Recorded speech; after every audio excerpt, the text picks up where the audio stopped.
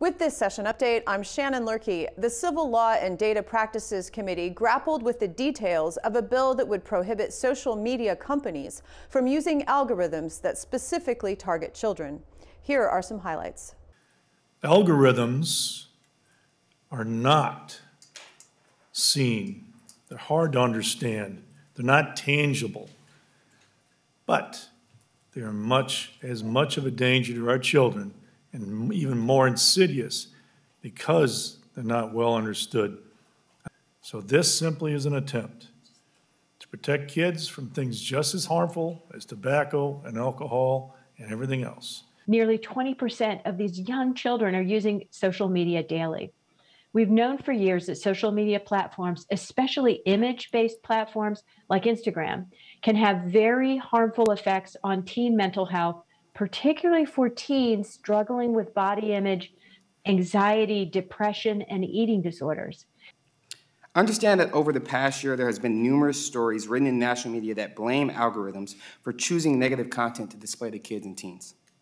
But if I leave you at one point, it's that algorithms are also the very same tools that help services target good content towards kids and teens. As a parent, I share that concern. I've got a 14-year-old who's on social media all the time. Um, And, uh, you know, we try to keep track of what she watches, but we can't do a great job of it unless we're just sitting over her shoulder all the time. I tend to lean toward uh, uh, advancing the cause of the First Amendment, even when I don't like what the First Amendment might allow to be spoken or communicated. because we've heard what we heard tonight for a long time previous to this. Yes, we understand there are issues. Yes, we want to work together. Yes, we take protection very seriously.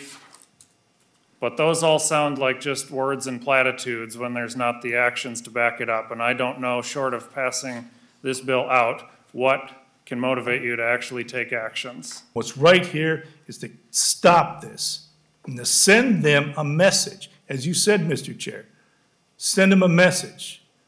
The people in the state of Minnesota will protect their kids against this evil, invisible chunk that they put out.